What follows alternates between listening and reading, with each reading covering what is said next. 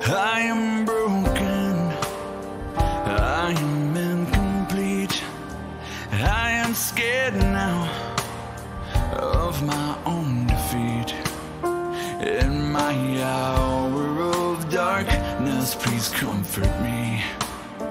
I'm not ready to give up the fight, but I can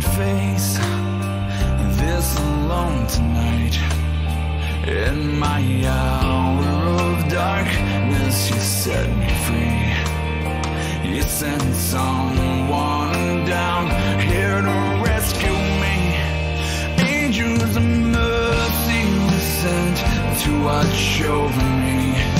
To help me fight through the pain and the suffering.